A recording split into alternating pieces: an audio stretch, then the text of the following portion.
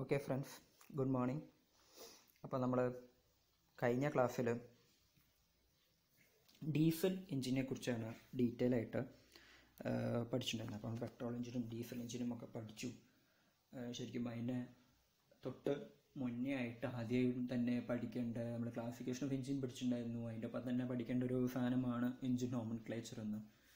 അതുകൊണ്ട് എഞ്ചിൻ നോംക്ലേച്ചർ ഇപ്പോൾ എടുക്കാൻ കാരണം എന്താ വെച്ചാൽ നിങ്ങൾ ഡീറ്റെയിൽ ആയിട്ട് ഇപ്പോൾ പെട്രോൾ എഞ്ചിൻ ഡീസൽ എഞ്ചിനെ കുറിച്ച് പഠിച്ചുകൊണ്ട് അതിന്റെ പാർട്സുകളെ കുറച്ചുകൂടി വൃത്തിയായിട്ട് മനസ്സിലാക്കിയിട്ടുണ്ടാവും. അപ്പോൾ എഞ്ചിൻ എന്നിട്ട് എഞ്ചിൻ നോംക്ലേച്ചർ പഠിക്കുമ്പോൾ നിങ്ങൾക്ക് ഒരു പുതിയതായിട്ട് തോന്നില്ല പെട്ടെന്ന് ഗ്രാസ്പ് ചെയ്യാൻ പറ്റും.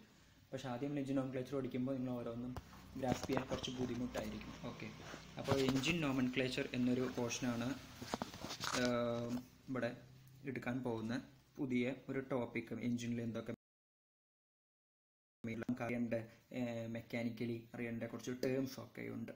ഓക്കെ അപ്പോൾ അതാണ് ഞാൻ ഇന്ന് ഇവിടെ എടുക്കാൻ പോകുന്നത്. അപ്പോൾ അതിൽ മെയിനായിട്ട് ആദ്യത്തെ ഇമ്പോർട്ടന്റ് പാർട്ട് എന്ന് പറഞ്ഞു കഴിഞ്ഞാൽ ഇതിൽ ഈ പിക്ചറിൽ കാണുന്ന പോലെ സിലിണ്ടർ ഓക്കെ സിലിണ്ടർ എന്തിനാ ഉപയോഗിക്കുന്നത് സിലിണ്ടർ സിലിണ്ടറിന്റെ ഉള്ളിലാണ് കംപ്രഷനൊക്കെ നടക്കുന്നത്. അതിന്റെ ഉള്ളിലേക്കാണ് ഗ്യാസ് എയർ ഫ്യൂൽ മിക്സ്ചറും ഒക്കെ വരുന്നത്.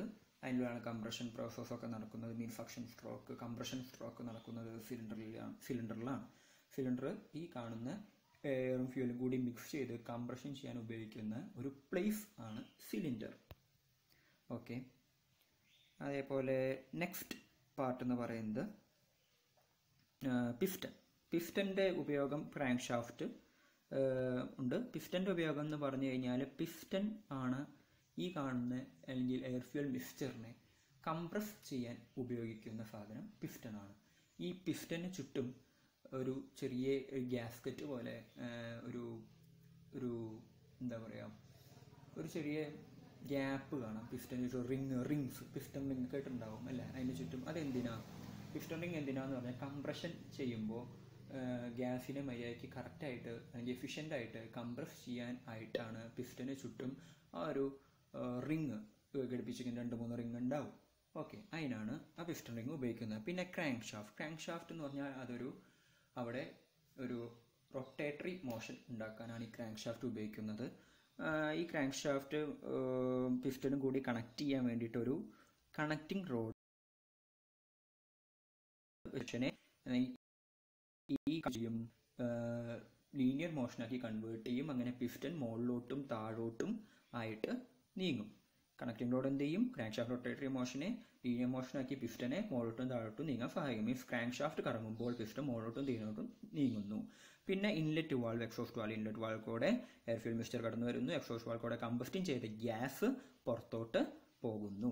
അങ്ങനെ ഇൻലെറ്റ് വാൾവും ഉണ്ട് എക്സോസ്റ്റ് വാൾവും ഉണ്ട് പിന്നെ അടുത്ത പോർഷൻ സ്പാർക്ക് പ്ലഗ് അല്ലെങ്കിൽ fuel injector spark plug petrol എഞ്ചിനും fuel injector diesel എഞ്ചിനും ഉപയോഗിക്കുന്നു. എന്തിനാന്ന് പറഞ്ഞാൽ സ്പാർക്ക് പ്ലഗ് സ്പാർക്ക് ഇഗ്നീഷനും ഫ്യൂവൽ ഇഞ്ചക്ടർ ഫ്യൂവൽ ഇഞ്ചക്ട് ചെയ്യാനുമാണ് ഉപയോഗിക്കുന്നത്.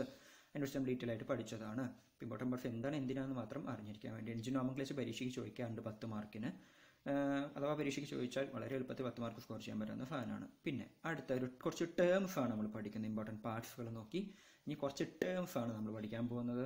അതിൽ ആദ്യത്തെ സിലിണ്ടർ ബോർ ഓക്കെ സിലിണ്ടറിന്റെ ബോർ എന്താണ് സിലിണ്ടർ ബോർഡ് ഈ ഉൾഭാഗത്തെ diameter internal diameter of cylinder ആലോചിക്കണം. പുറത്തെ ഡയമീറ്റർ അല്ല സിലിണ്ടറിന്റെ ഉൾഭാഗത്തെ ഡയമീറ്ററാണ് ബോർ എന്ന് പറയുന്നത്. സിലിണ്ടർ ബോർ എന്ന് പറയുന്നത് ഡി വെച്ചിട്ടാണ് സൂചിപ്പിക്കുക. എം ലാണ് എപ്പോഴും സിലിണ്ടർ ബോർ എഴുതുക.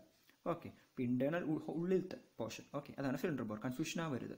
അടുത്തത് പിസ്റ്റൻ ഏരിയ മീൻസ് ആ പിസ്റ്റന്റെ മോൾ ഭാഗത്തുള്ള ഏരിയ പിസ്റ്റൻ ഏരിയ കണ്ടുപിടിക്കാൻ എളുപ്പമാണ്. ആ പിസ്റ്റന്റെ ഡയമീറ്റർ ഡി ആണെങ്കിൽ area pi R square. Circle സർക്കിളാണല്ലോ സർക്കിളിന്റെ ഏരിയ എങ്ങനെ കണ്ടുപിടിക്കുക നമ്മൾ പൈ ആർ സ്ക്വയർ. ഇവിടെ ആർ എന്ന് പറഞ്ഞാൽ ഡി ബൈ ടു ആണ്. ആർ എന്ന് പറഞ്ഞാൽ ഡയമീറ്റർ ബൈ ടു അല്ലേ?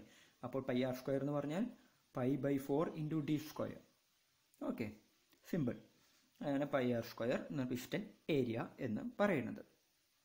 ഓൾമോസ്റ്റ് ഈ സിലിണ്ടർ ബോറും പിസ്റ്റൻ ഏരിയ എന്ന് പറയുന്നതും സെയിം ആയിരിക്കും. സിലിണ്ടറിന്റെ ബോറും പിസ്റ്റൻ ഏരിയ എന്ന് പറയുന്നത് ഓൾമോസ്റ്റ് സെയിം ആയിരിക്കും. ഒരു point zero zero one M എമ്മിന്റെ ഒരു വ്യത്യാസം ഉണ്ടാവും. കംപ്ലീറ്റ്ലി സെയിം അല്ല but almost it will be same പിന്നെ അടുത്ത top dead centre top dead centre എന്ന് പറഞ്ഞാൽ പിസ്റ്റൻ എത്രത്തോളം മുകളിലോട്ട് നീങ്ങാൻ പറ്റും? മീൻസ് ഒരു സെറ്റൻ പോയിന്റ് കഴിഞ്ഞാൽ ആ പിസ്റ്റൻ മുകളിലോട്ട് നീങ്ങില്ല top dead centre bottom centre പറഞ്ഞാൽ ഒരു സെറ്റൻ പോയിന്റ് കഴിഞ്ഞാൽ പിസ്റ്റൻ താഴോട്ട് നീങ്ങില്ല. ആ ഒരു പോയിന്റാണ് ബോട്ടം ഡെഡ് സെന്റർ എന്ന് പറയുന്നത്. ബോട്ടം ഡെഡ് സെന്റർ ഓക്കെ ഇനി താഴത്തേക്ക് പോകാൻ പറ്റില്ല. ഓക്കെ സെറ്റൈം പോയിന്റ് താഴെ. അത് ബോട്ടം ഡെഡ് സെന്റർ ആ top dead centre bottom dead centre അടുത്തത് നമ്മൾ പോയിന്റാണ് സ്ട്രോക്ക് അഞ്ചാമത്തെ പോയിന്റാണ് സ്ട്രോക്ക് എന്താണ് സ്ട്രോക്ക് സ്ട്രോക്ക് എന്ന് പറഞ്ഞാൽ ഒരു പിസ്റ്റൺ ടോപ്പ് ഡെഡ് സെന്ററിൽ നിന്നും ബോട്ടം ഡെഡ് സെന്ററിലേക്ക് നീങ്ങുമ്പോൾ ഉണ്ടാകുന്ന ഡിസ്റ്റൻസ് ആണ്. Distance between top dead centre and bottom dead സെന്ററിനെ stroke എന്ന് പറയുന്നത്. അത് എൽ ക്യാപിറ്റൽ എൽ വെച്ചിട്ടാണ് ഡിനോട്ട് ചെയ്യുക. ആലോചിക്കണം. സിലിണ്ടർ ബോർ സ്മോൾ ഡി വെച്ചിട്ട്. ഈ സിലിണ്ടർ ബോർ സ്ട്രോക്കിനെക്കാട്ടിലും കുറവാണെങ്കിൽ അതിന് അണ്ടർ സ്ക്വയർ എഞ്ചിൻ എന്നും ഓക്കെ സിലിണ്ടർ ബോർ സ്ട്രോക്കിനെക്കാട്ടിലും കുറവാണെങ്കിൽ അണ്ടർ സ്ക്വയർ എഞ്ചിൻ എന്നും ഇനി സിലിണ്ടറിന്റെ ബോർ സ്ട്രോക്കിന് ഈക്വൽ ആണെങ്കിൽ അതിനെ സ്ക്വയർ എഞ്ചിൻ എന്നും ഇനി സിലിണ്ടറിന്റെ ബോർ സ്ട്രോക്ക് ലെങ്ത്തിനെക്കാട്ടിലും കൂടുതൽ ആണെങ്കിൽ അതിനെ ഓവർ സ്ക്വയർ എഞ്ചിൻ എന്നും നമ്മൾ എഞ്ചിനെ ഈ മൂന്ന് രീതിയിലായിട്ട് വിളിക്കും. ഓക്കെ അപ്പോൾ മാറിപ്പോകരുത് അടുത്തത് സ്വെപ്റ്റ് വോളിയം. സ്വെപ്റ്റ് വോളിയം എന്ന് പറഞ്ഞാൽ ഈ ടോപ്പ് ഡെഡ് സെന്ററിൽ നിന്ന് ബോട്ടം ഡെഡ് സെന്റർ വരെ പിസ്റ്റൻ നീങ്ങുമല്ലോ. ആ നീങ്ങുന്ന ആ വ്യാപ്തം.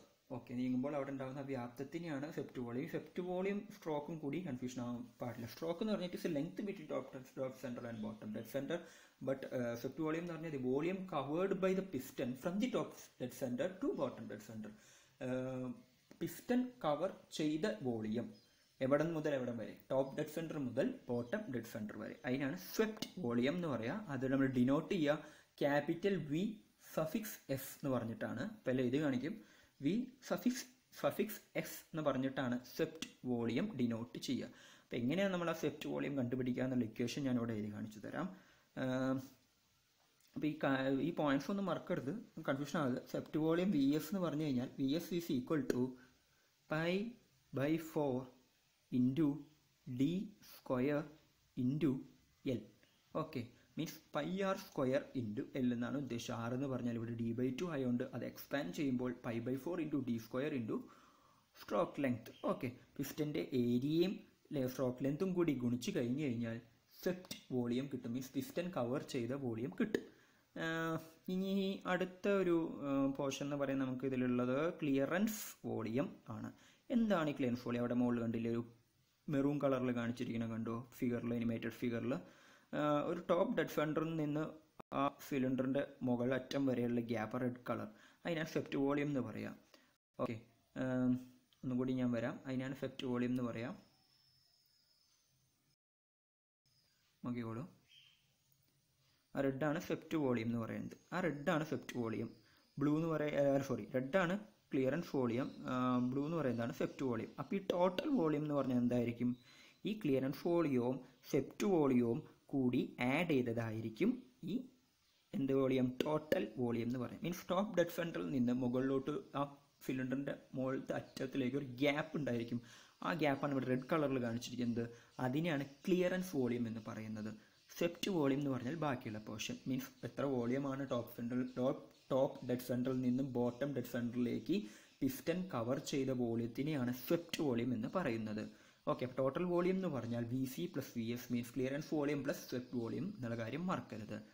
ഇനി അടുത്തൊരു പോർഷൻ എന്ന് പറഞ്ഞാൽ കംപ്രഷൻ റേഷ്യോ അടുത്ത ടൈമാണ് കംപ്രഷൻ റേഷ്യോ കംപ്രഷൻ റേഷ്യോ ആറ് എന്ന് പറഞ്ഞു കഴിഞ്ഞാൽ equation total volume by clearance volume ആണ്. ടോട്ടൽ വോളിയം ബൈ ക്ലിയർ വോളിയത്തിനെയാണ് കംപ്രഷൻ റേഷ്യോ എന്ന് പറയുന്നത്. Is the ratio between total volume and the clearance volume അത് നമ്മൾ ഇക്വേഷൻ ആക്കി എഴുതുകയാണെങ്കിൽ is equal to total volume B T divided by clearance volume V C V T by V C V tick നമ്മൾ ഒരു equation പഠിച്ചിട്ടുണ്ട്. V T equal to V C plus V S swept volume clearance volume കൂടി കൂട്ടിയതാണല്ലോ total volume എന്ന് പറയുന്നത്. All divided by V C അടുത്ത V C നമ്മൾ വീണ്ടും പഴയ പോലെ എഴുതി. എന്നിട്ട് ഈ ഒരു ഇക്വേഷനെ നമ്മൾ വീണ്ടും ഒന്നുകൂടി എന്താ പറയുക എക്സ്പാൻഡ് ചെയ്ത് എഴുതുമ്പോൾ V C by V C plus V S by V C എന്ന് വരും. വി സിയും വി സിയും കൂടി വെട്ടിപ്പോവും. Also also is equal to one plus V S divided by V C means one plus swept volume divided by clearance volume ഈ ഒരു equation നിങ്ങൾ ബോക്സിൽ ഇട്ട് വയ്ക്കുക. ഓക്കെ ഇതാണ് compression ratio equation compression ratio small letter R വെച്ചിട്ടാണ് സൂചിപ്പിക്കുക. Okay ഇതാണ് ഇമ്പോർട്ടന്റ് ആയിട്ടുള്ള ഇമ്പോർട്ടന്റ് ആയിട്ടുള്ള ബേസിക് എൻജിൻ നോമൻ ക്ലേച്ചർ എന്ന് പറഞ്ഞിരിക്കുന്നത്. നിങ്ങളുടെ നോട്ടിൽ ഈ സാധനമൊക്കെ വൃത്തിയിൽ എഴുതിയിട്ടുണ്ടാവും. ബട്ട് നമുക്ക് ഏറ്റവും ഇമ്പോർട്ടന്റ് ആയ കാര്യം അറിഞ്ഞാൽ മതി. അതുകൊണ്ടാണ് ഇത്രയും കാര്യം പറയാൻ കാരണം. എഞ്ചിൻ ഓം ക്ലാച്ചർ ശരിക്കും നമ്മൾ പഠിക്കുമ്പോൾ ആദ്യം പഠിക്കേണ്ടതായിരുന്നു ഞാൻ നിങ്ങൾക്ക് ഈ പെട്രോൾ എഞ്ചിൻ ഡീസൽ എഞ്ചിൻ എടുത്ത് പഠി പഠിപ്പിക്കുമ്പോൾ നിങ്ങൾക്ക് ആ സാധനം പെട്ടെന്ന് ഗ്രാഫ് ചെയ്യാൻ പറ്റും. ഓൾറെഡി ഞാൻ ഇപ്പോൾ ഓരോ സാധനം പറയുമ്പോൾ എന്തിനാണ് നിങ്ങൾക്ക് തന്നെ ഒരു ഐഡിയ കിട്ടിയിട്ടുണ്ടാവും. ഓക്കെ അതുകൊണ്ടാണ് ഇത് ഇപ്പോൾ എടുക്കാൻ കാരണം. അപ്പോൾ നമുക്ക് അടുത്ത വീഡിയോയിൽ അടുത്ത ടോപ്പിക്കായിട്ട് കാണാം. Bye bye